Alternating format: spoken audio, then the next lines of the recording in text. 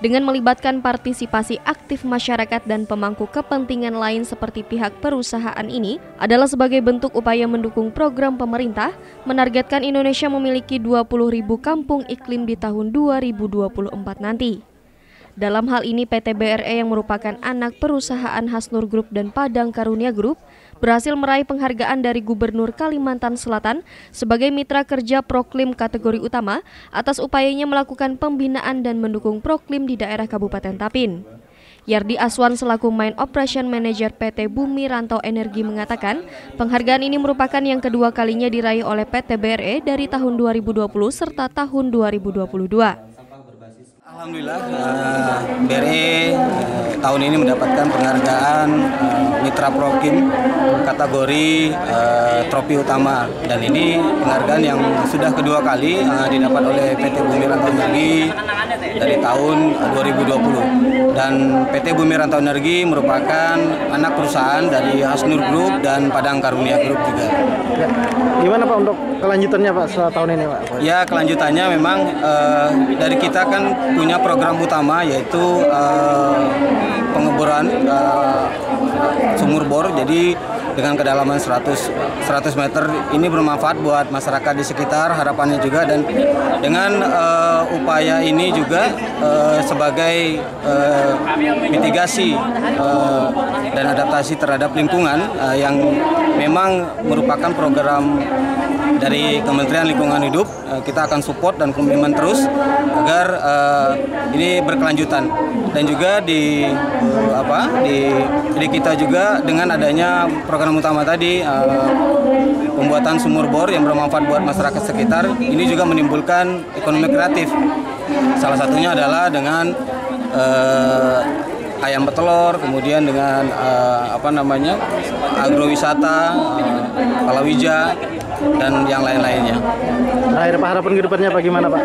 Kita tetap uh, berkomitmen untuk uh, sebagai mitra Proklim dan ini juga uh, kita akan terlibat langsung juga dengan uh, masyarakat sekitar karena memang PT Bumi Rantau Energi berkomitmen untuk uh, dalam rangka untuk mengelola lingkungan dan memang juga uh, kita bermanfaat lah untuk uh, masyarakat sekitar.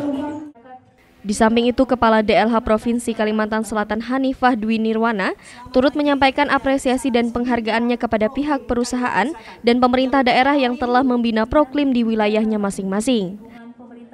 Memberikan apresiasi yang setinggi-tingginya kepada seluruh dunia usaha atau perusahaan dan perguruan tinggi dengan memberikan penghargaan sebagai Mitra Proklim Kalimantan Selatan yang pada tahun ini sebanyak 32 mitra proklim dari seluruh dunia usaha dan perguruan tinggi yang telah mendukung kegiatan Kampung Iklim di Provinsi Kalimantan Selatan. Sementara itu hal senada juga disampaikan oleh Kepala Dinas Lingkungan Hidup Kabupaten Tapin Haji Nurdin yang turut menyampaikan terima kasih dan penghargaannya kepada pihak perusahaan terutama PT BRE yang selalu aktif mendukung dan melakukan pembinaan di sejumlah desa di ring satu perusahaan yang terpilih mengikuti proklim di daerah Kabupaten Tapin.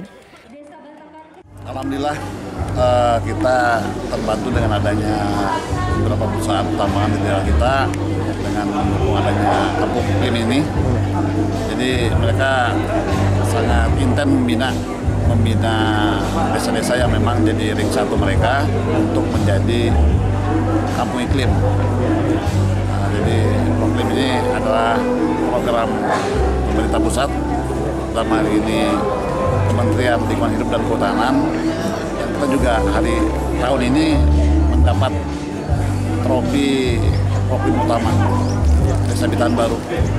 Harapan ke depannya Pak?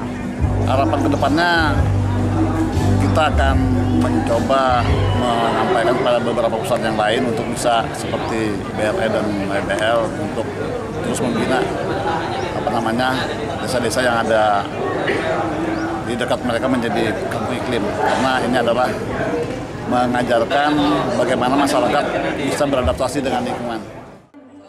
Tim Liputan, Tapin TV.